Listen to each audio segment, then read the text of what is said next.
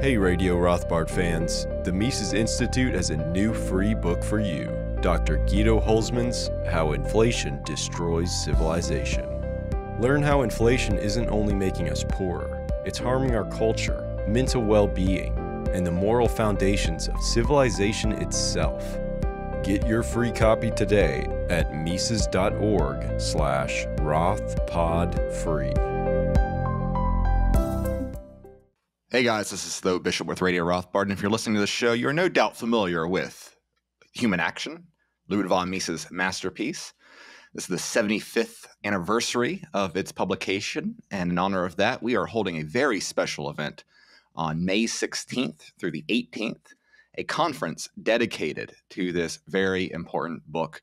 We're going to have scholars from all around the world coming in, including Bob Murphy, Guido Hülsmann, Joe Salerno, Tom DiLorenzo, a whole list of all star Austrian scholars. Now, as a Radio Rothbard listener, we've got a special opportunity for you. If you go to Mises.org slash RR raffle, that's double R raffle, uh, you can enter in to get a free admission to this very special conference. Also, if you're a student, we've got scholarships available for you at the event site, uh, Mises.org slash events. So I hope to see you guys there, and now enjoy the rest of the show.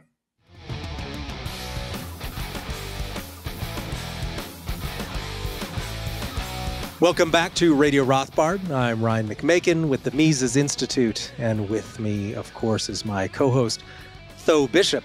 On today's episode, we are welcoming back our senior fellow, Mark Thornton.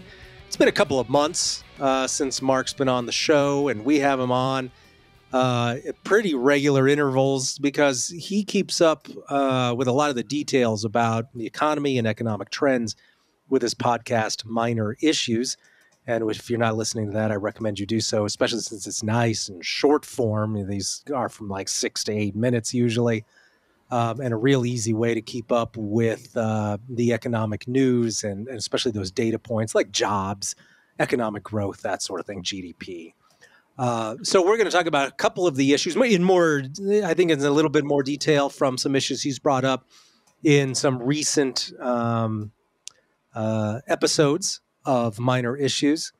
And to lay the groundwork on this, um, I think we want to talk a little bit about your episode from February 17th, the Fed versus the real economy. And I don't think all of our readers, I think many people have a sense of this, but not everybody is quite familiar, at least not in terms of the vocabulary. I think people have a sense of what it is and what it means, but this difference between the financial economy and the real economy. And uh, what do we mean by that? And just looking at some of the details on how the Fed seems more concerned with the financial economy than the real uh, economy. Um, a lot of this stems from the Fed's attempt to buoy the stock market, from what we see in a lot of cases. And so let's look at a couple of issues related to that. For one, can you just give us the real basic definition then of what is the real economy and and uh, how that differs from from what we might call the financialized economy or something similar? Yeah, the, the real economy is you and me and everybody uh, going to work, going to the store, buying stuff, uh, selling stuff, providing services, all of that kind of thing. And we look at the measures in terms of things like the labor market, um, inflation, of course, um, business activity, investment, confidence, all of those underlying measures of uh, economic activity. Uh, Richard Cantillon called, there was no word back in his day in 1730 for the economy. He called it the circulation, in which we are all circulating, goods and services are circulating, and money is circulating. Uh, and government is out of that picture because government just steals from that circulation and consumes.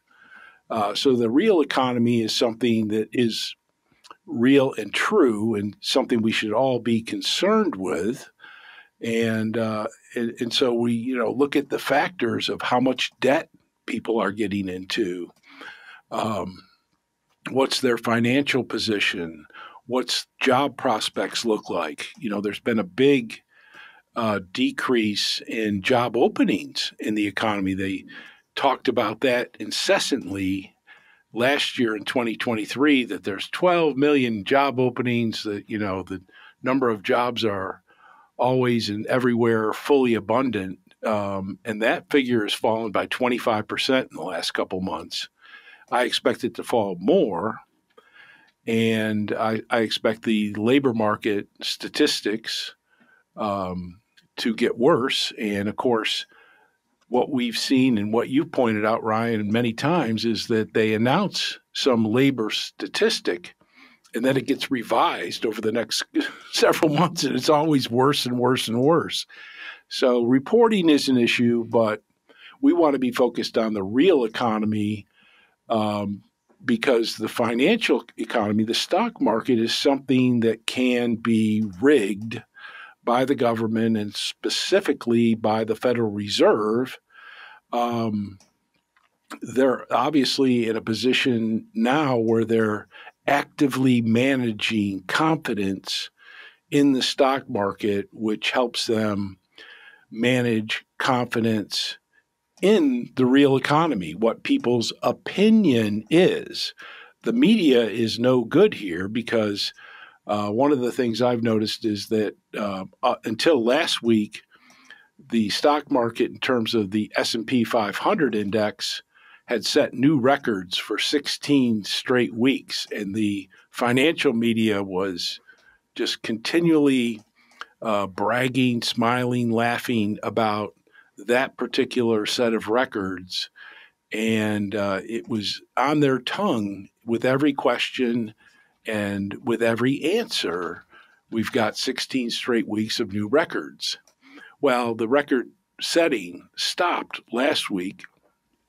And I'm not saying this is a massive reversal in trend, but um, this week, uh, the price of gold set an all time record high. And, you know, crickets, you didn't hear a word out of the media.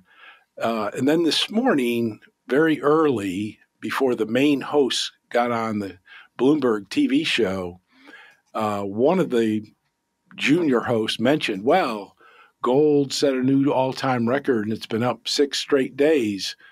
What do you think of that, fellow co host?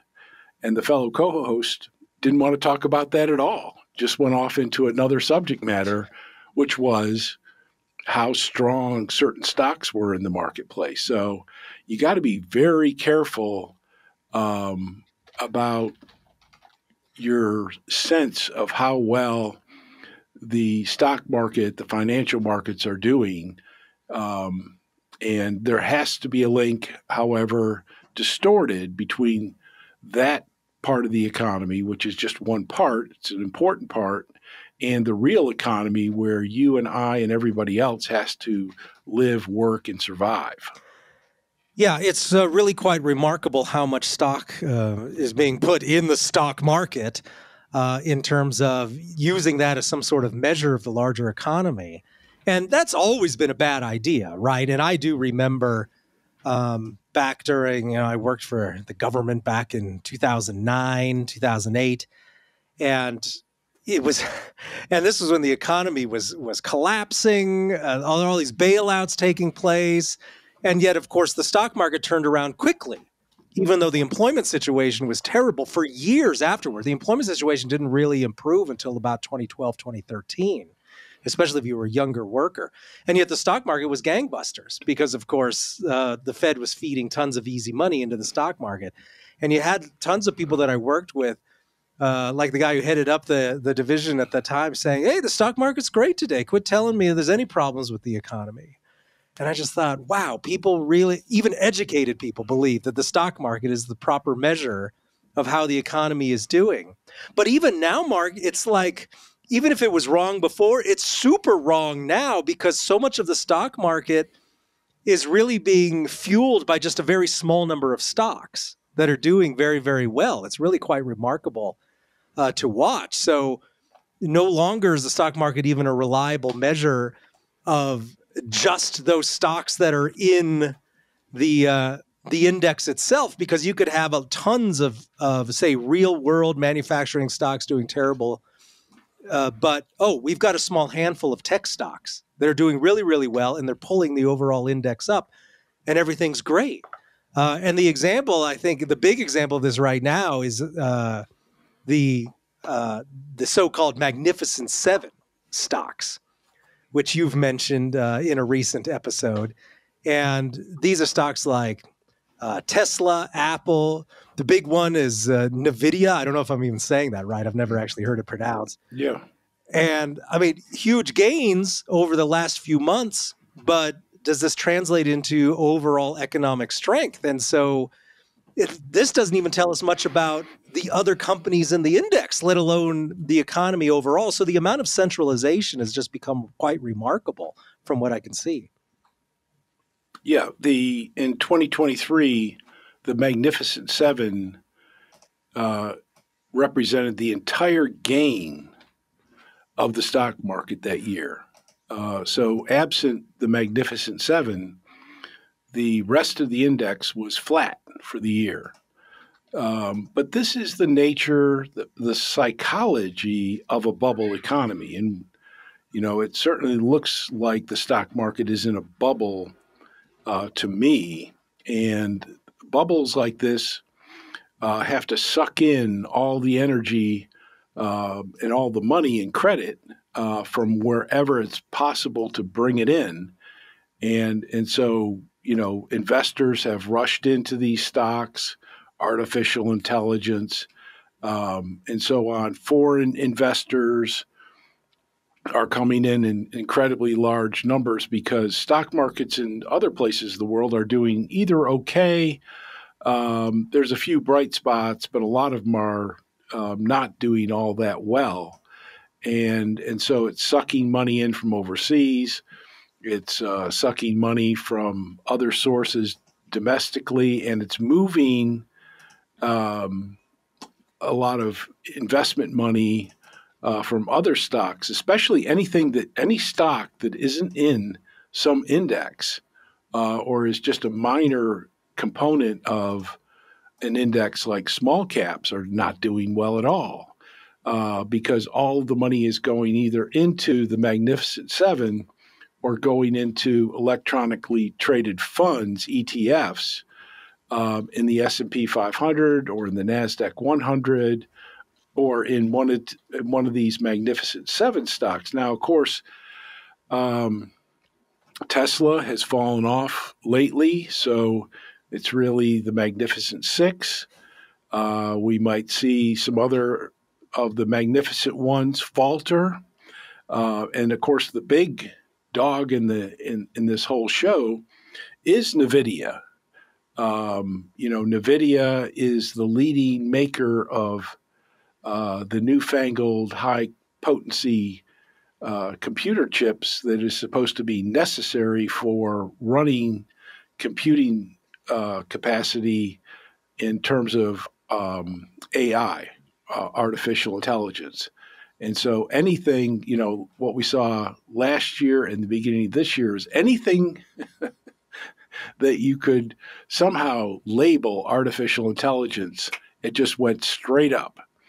And so the way I see it right now is that it is a bubble and that NVIDIA, which actually made a name for itself as a video game company, it produced the uh, chips and the video cards uh, that make playing video games much more fun. Okay, so you can see the characters better and they move around, less clunky if you're using a, a system based on NVIDIA's chips and video cards. And so, really, what our economy is depending on here is a video game company. and all these people on Wall Street who don't actually play video games um, are leading the charge in all of this. So, uh, as far as I'm concerned, it's a little bit of a tenuous, a little bit of a scary situation. Well, and of course, this gets to a much broader issue here is that you know this is not a you know, we're, we're not bashing the, stock market itself, but what the stock market has become. And one of the big problems here is that again, we're, we're, it's a lot of it is is chasing trends. Um, you know, we've seen this massive sort of move. I think, particularly within this period of, of hyper financialization after 2008, where you know wealth management is you know, far more important than value creation to that real economy. Um, I'm not going to try to dismiss the, the value of, of, NVIDIA chips and the like, though uh, the, the, bubble concerns there I think are valid. But you know, when you've had such a, a, large reliance upon stocks as a reliable vessel for investment, again within this you know, period of, of easy money, um, that not only leads to again I think dangerous uh, allocations of capital, again moving away from that real economy, but to these these products but you also have a massive political dynamic here where you have, you know, particularly older generations that are more invested in the stock market. They have the resources to do it. I mean, that's one of the reasons why the stock market is such a politically potent indicator of economic success. Because if number go up, if people feel richer, then voters who you know still to this day are going to be you know largely represented by older generations that is exactly the sort of group that politicians are going to try to placate the most. And so, you know, this is State of the Union week. Um, and I'm sure we're going to hear, you know, a number of times of Biden pointing to the stock market as a measure of you know, how great this economy is going. It's kind of ironic because at the same time, right, you know, they bash corporations for their greed on um, you know, pricing and things like that. You know, attributing inflation to uh, massive price uh, profits th- these corporations, and yet a big part of that, you know, their, profits are driving the stock market, which is going to be bragging about. And again, I'm, I'm not acting shocked here that we have uh, uh, hypocrisy or, or, economic literacy coming from the political class. Um, but that dynamic too is the, the, political potency of the stock market as a tool, um, again, with an increased reliance upon it um, in the current system um, is a whole another dynamic of again the, the real economy being shafted at the to the benefit of you know the financial economy. That's a really great point, and it's a really important point. Um, the stock market, you know, is the Fed manages the stock market, and they want confidence in it. They want to drive down the cost of the input, which is credit. Um, low interest rates um, and any kind of financial formula. If you lower the interest rate, you raise the capital asset value of capital goods.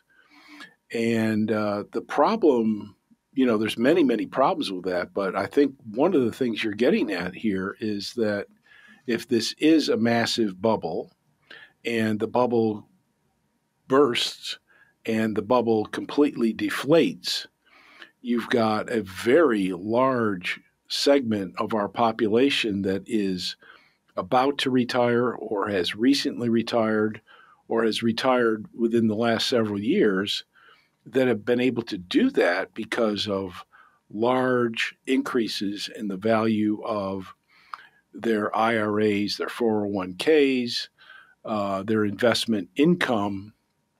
And uh, one can only imagine that these people, um, and of course, again, this gets back to the bubble psychology. They people think that yes, the stock market is related to the real economy, um, whereas in in the past that wasn't necessarily the general belief amongst people. But if it was to completely deflate, these people's retirement would take a severe um, you know, severe damage in a bloodbath like that, and they would be up in arms politically. They would be complaining uh, to their congressman. Uh, their congressman would be complaining to the Fed to do something. And uh, given what they've done already, given that they would be the cause of this financial massacre, um, who knows what they would be willing to uh, bring forth, given that they've done so much unconventional, untried um, magic tricks over the last 20 years. Um, it it kind of unnerves me a little bit about what they would do moving forward uh, to quiet that class of people who are recently retired. Well, and you notice, um, you noted in your podcast that the the narrative we get out of the media is that the Fed has really, really tightened uh, rates and is in a, is in the midst of QT and uh, really, really clamping down on inflation. Uh, but you note that well, it's not really that tight, and I think we could look at that in a couple of ways, right? First of all, historically, interest rates are not uh, exceptionally high by any means, and certainly not compared to the 80s uh, when they uh, attempted to deal with the 1970s style inflation. And then there's the other issue, which rarely gets mentioned anymore, which is the Fed's balance sheet, its multi trillion dollar balance sheet, which it is rolling off at excruciatingly slow pace. Uh, if it wanted to tighten more, it could easily do so, but is not doing that at all. And you note that part of the reason for this is that the Fed is committed uh, to keeping interest rates low. Uh, partly, now we've noted one here, partly there's a, a, a, lot of political concern related to the stock market and the value of stocks and how that relates to the public's retirements and pension funds and all of that. But the other issue is you note, well, the Fed doesn't dare uh, really destroy the bond market by allowing uh, rates to significantly increase. So, can you talk a little bit also about that motivation of the Fed? So, the Fed's got this issue with the stock market here, but it's got a couple other issues too. There's, first of all, the bond market, but there's also the fact that uh, the banks themselves, a lot of them rely on portfolios filled with bonds and also with a lot of securities that may be falling in value if the Fed actually over tightens. So then you got a bunch of underwater banks. I mean, the what what's the Fed's thinking on this? Uh, the Fed, it seems to me, the Fed's trying to keep banks afloat, while at the same time also keeping the federal government afloat with relatively low rates. I mean, how are they? What are what are they primarily concerned with, and how are they going to keep all of these dishes spinning in the air? Oh, uh, well, with respect to whether it's easing or tightening, uh, you know, inflation is at over 4% right now. And the basic government rates that the Fed really controls are up 5%. So a real interest rate, an inflation adjusted interest rate, is less than 1%. So that is not tightening. Uh, a 5 6% rates are not historically uh, tight rates. Uh, as you mentioned, they're supposed to be reducing their balance sheet by selling off assets, which would be tightening, but they really haven't done much of that. It's really a small percentage of their balance sheet that they've actually sold off. The one area that they've really manipulated is the reverse repo market. And I don't want to go into the details because it's it's like a it's like a card game trick that they play. Uh, but basically, when they crashed the market in 22, 23, uh, they were creating these reverse repo agreements with financial institutions, which basically took money off of the investment table and put it with the Fed. So there was tightening uh, where they basically created two and a half trillion dollars, two trillion dollars of new reverse repos. They took that out of the marketplace, and stock prices went uh, down, um, and uh, bonds also suffered uh, as a result. And once that started hitting the real economy, uh, they had plateaued in that marketplace and then they began to ease. And they basically returned all of that financial capital, that cash or that credit uh, to the market to the tune of almost uh, $2 trillion. So when they started to return that money, that's when we saw the stock market start to reinflate.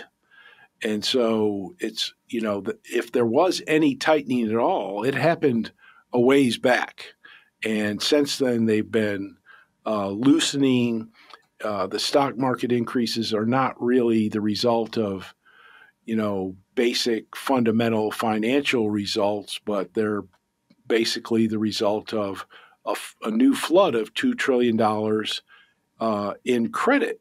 And so, in terms of what they're most concerned about, and I think why they uh, reverse themselves on reverse repos, um, is that the the uh, market that they have to be most concerned about is the ability of the government to sell government bonds.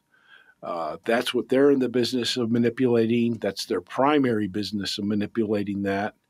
And of course, the government's, you know, their their ability to overspend by trillions of dollars a year is, of course, directly tied to the ability of the Treasury to sell uh, government bonds. And a lot of things have been going the wrong way uh, for that market. And there was a lot of uh, scary situations last year in particular.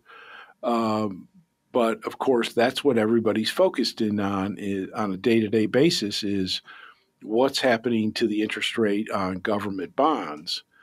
And uh, that's a very big problem for them. That's that's something that if they were to lose control of, in other words, if the interest rate were to rise significantly, people didn't want to buy government bonds. And of course, we're seeing, you know, the Russians aren't buying, uh, the Chinese aren't buying, they're selling. Uh, there's a reluctance on other central banks' part uh, to invest in U.S. government securities. They're investing more in gold um, as a result. So that's the thing I think they are most concerned with because if they can't sell those bonds and the interest rate has to go up, then the interest expense uh, on the debt is going to skyrocket even further. And uh, that's going to look really bad for the US dollar. So these things could, um, if they develop in that pattern, uh, they could feed on themselves. And so the Fed uh, has to backstop that whole process. That's the problem too. Is that the and this goes back to the importance of, of the real economy. Is that you know, the the economic system we have right now is, is essentially a house of cards.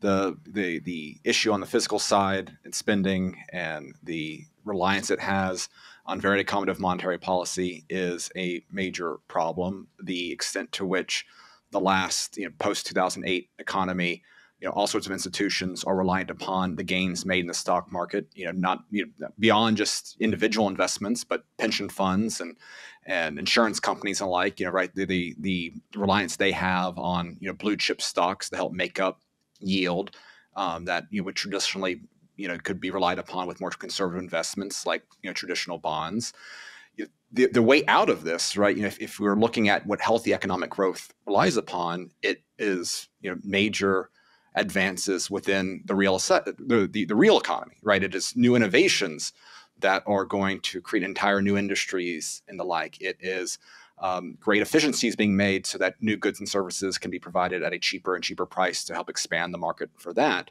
And we have so much of the capital allocated towards getting kind of these more more wealth management oriented dynamics or you know now you have people kind of desperately hoping that things like AI or um, you know just kind of unicorn projects that big tech has uh, the, the, metaverse being an example with Facebook is that you have these large tech companies that you know have been seen as safe havens as as, as generators of innovation. Uh, you know they've had a lot of of misses like the metaverse with uh, Facebook. Um, again, a lot of, of hope, I think, for what AI can do, which is not to say that there's not real value there and there's not going to be real real advances made that help improve things on the, uh, the within the real economy. But a, a, lot of that might be wish casting on what they hope to happen there. And so you know, an economy where again, you know, this this goes to the critiques that people like Peter Thiel have made that you know back you know decades ago, right? We were thinking about you know flying cars, and instead we got you know 240 characters on on Twitter, which is obviously now now gone up a, a great deal since, Elon Musk took it over. But it's it's the the willingness to think big and to think about real stuff, you know, real changes that can improve the lives of Americans. It, it, it seems that that is being taken a second place to this larger dynamic of kind of wealth management. And part of that is because we've created such a, a dangerous environment where you know, there's you know all this you know concerns about debt and the, the solvency of the banking system. We can't have real savings rates. We can't have kind of the core fundamentals that are required to create an environment for real economic growth. And so everyone's kind of just accepted, you know, low real growth in the economy. You know, we, we've we've you know everything that is being used to justify um, and to promote strength you know relies upon this this you know various methods of gaslighting that we get from the government in terms of you know inflated jobs numbers and all these sort of things real people are the ones that aren't feeling any real gains uh, from a material perspective for you know, all this money sloshing around um, in the economy that the government's convincing us is so great. Yeah, the I think your use of the phrase "house of cards" is great, and it's never been as appropriate as right now. Um, directly, uh, consumers are adding to their credit card debt. Um, in my last podcast, I mentioned that consumer consumers' credit card debt had gone up by uh, 25%. Um, and I, I only I didn't realize I was only using the fall of 2023 and fortunately, the producer put that right in the, the headline of the the episode that it's actually gone up uh, tremendously to 1.1 trillion, uh, more than double uh, the increase that I had talked about actually in the podcast. So that's a card. The federal deficit is a giant credit card, and it's totally out of control. Um, it's barely recognizable as a budgeting process at all. They're just spending uh, without any constraint uh, regarding revenue, future revenue, potential revenue, etc. And then, of course, commercial real estate is also one of those cards uh, where those commer- commercial real estate projects uh, their financing is going to run out. Each project, the financing runs out, and you have to refinance um, on a five year basis or a seven year basis. Um, and a lot of those projects with fewer tenants than they expected, we don't know what's going to happen there.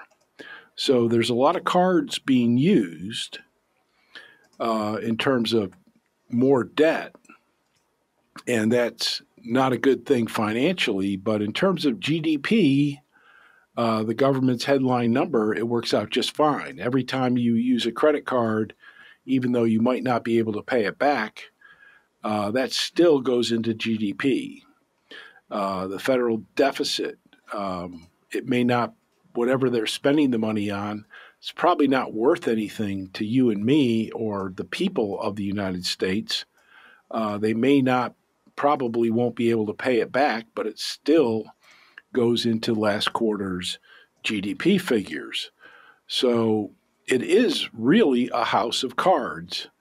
And it's a great phrase right now. It's something it's a phrase I've used in the past, but it's never been more appropriate than it is right now. And at the top of that house of cards is GDP, which continues to be positive uh, in the United States. It's much weaker um, around the globe. China right now is taking a lot of flack for forecasting that they, on the basis of the massive stimulus uh, program that they're starting, that their GDP is going to grow by 5%. Now, 5% would have been incredibly low 10 years ago uh, or even 20 years ago. But now it's uh, much higher than anybody anticipates actually occurring in any kind of legitimate way. Uh, and they're being attacked for overstating or over projecting their GDP. But all of these things uh, that Austrian economists worry about, and regular financial people, regular accounting people worry about it too. Um, all that gets plowed right into GDP figures, and it makes everything look hunky dory. So I think to wrap up, then, since we're talking about cards, uh, but we'll have to modify our card analogy a bit. Uh, I want to go back to one of your other episodes from Minor Issues where you talk about okay, what are the wild cards that could be dealt to us that will trigger maybe a burst in the bubble or something that will cause uh, the the malinvestment to really appear, that uh, will basically trigger a financial crisis of some kind or really make a recession apparent.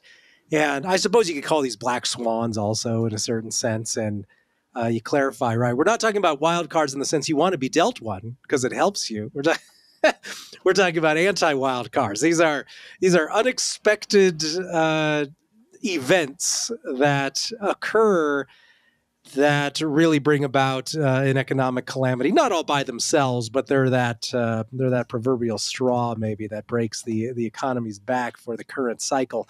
And you note uh, many of these past events uh, including things like Enron, or when we found out during uh, the global financial crisis that the ratings agencies that their that their uh, ratings were garbage, and uh, we we found out these things in very unpleasant ways. So, uh, looking out uh, and peering into your crystal ball, Mark, what, what, do you think are some of the options on the table for what some of the uh, the upcoming anti wild cards might be? Well, the the funny thing is that some of these are occur very regularly, like regulatory failure. The regulatory agency agencies are supposed to be monitoring uh, all this ec- economic and financial activity, the Fed and the FDIC and the Securities and Exchange Commission, um, all of these agencies, hundreds of thousands of regulators, uh, but they regularly fail. Um, to alert the public uh, to these underlying problems. Uh, the other one that typically fails in recent decades has been the rating agencies. Um, back a long time ago, when I was in college in the Middle Ages, uh, the rating agencies sold their services of rating bonds and securities to the investors, to the buyers. And because of the way the federal government has flipped all that uh, through regulatory requirements, the rating agencies don't work for the buyers of these securities, they work for the sellers. Uh, and so if somebody wants to sell a bond into the market, they go to a rating agency and say, look, look at my bond. It, it's really good. Don't you agree if I give you a million dollars? and they say, "Yeah, it looks really good. Give me the million dollars." Um, so that market has been upended by federal regulation, and it's undependable. And it's certainly undependable uh, during the tech stock meltdown. Obviously, the financial uh, crisis, um, and you know, and, and, subsequently, and I think that that's a, a big potential problem. Um, then there's a trade war. Uh, you know, the, the world is in a simmering trade war that could break out. Um, actual wars uh, could break out. Um, the United States um, is involved in conflicts in Eastern Europe with Russia as a proxy war in Ukraine. Uh, NATO is getting involved. More and more countries are getting involved more and more countries are joining or trying to join NATO, further threatening uh, Russia. Uh, the Middle East is a similar proxy war of the U.S. and Israel uh, against Iran and its subordinate uh, groups uh, around the Middle East. Um, and then, of course, in Asia, the trade war between the U.S and China, uh, the two largest countries in the world. They're highly interdependent with one another.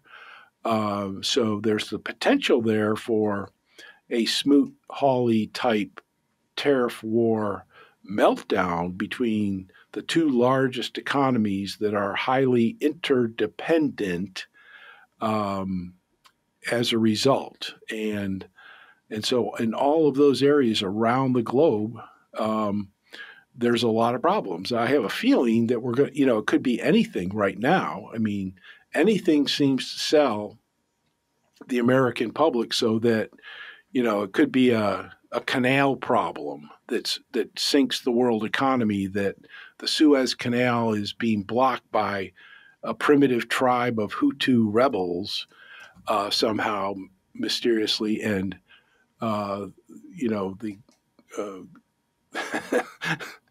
the global the global weather patterns have changed so that the Panama Canal is drying up. So two canals, two check, choke points um, are potentially going to be sold to us as the problem. You know, the, this magical problem that uh, shoots down the entire world uh, economy. Um, so it's, you know, I'm open to suggestions really, uh, but I wouldn't be surprised that it wouldn't be necessarily just one of the traditional anti wild cards. It could be uh, really anything as an excuse, for example.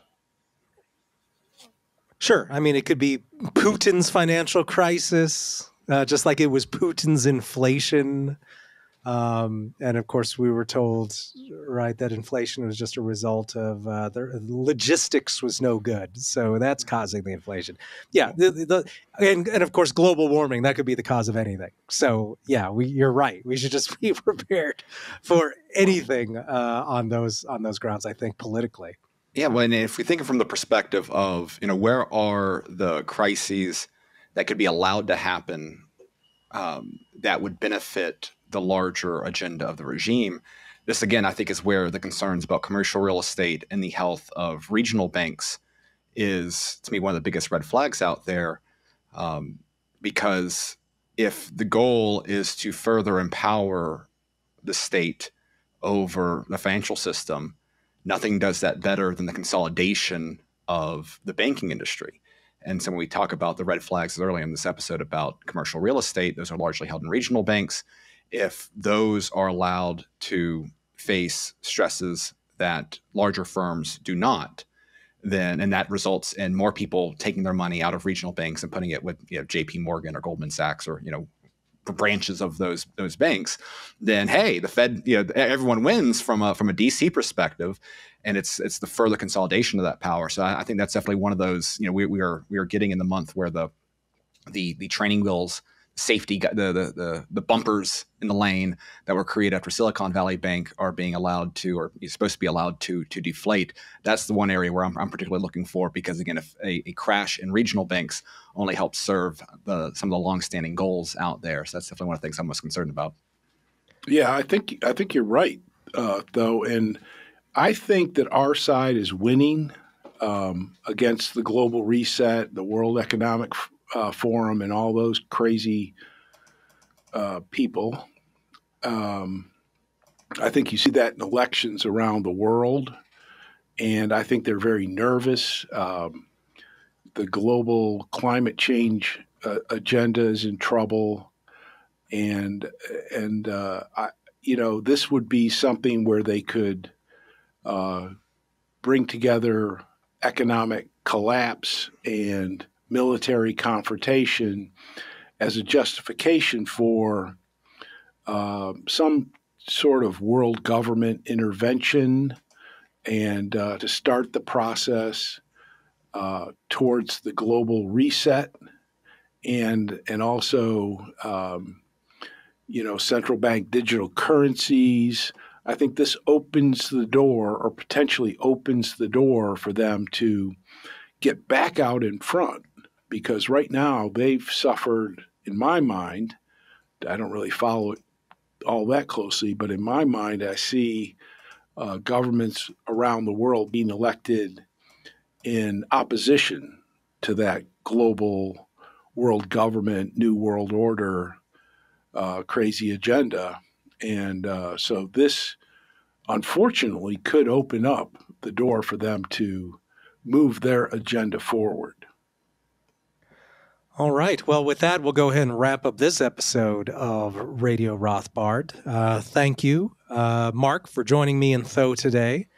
Uh, and yeah, we'll have you on again uh, in uh, six or seven weeks just to check, to observe the latest in the current uh, train wreck and how it unfolds. And so thank you. Thank you, Tho. Thank you, everyone, for listening. We'll be back next week with another episode, and we'll see you next time.